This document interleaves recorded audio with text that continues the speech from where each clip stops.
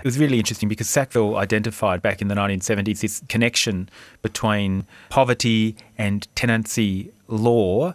Can we say that, that there's just been a kind of a black and white improvement?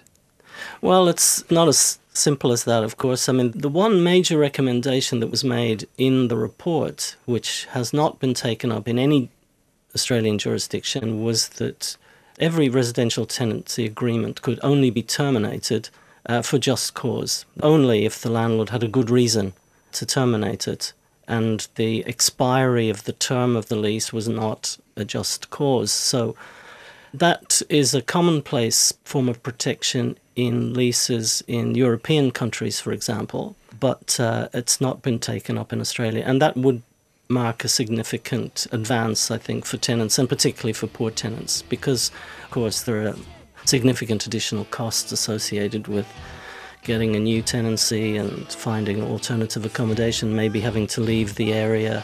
A particular problem, of course, with parents with children enrolled in local schools and so on. So that is the major missing link in the reform process, uh, it seems to me.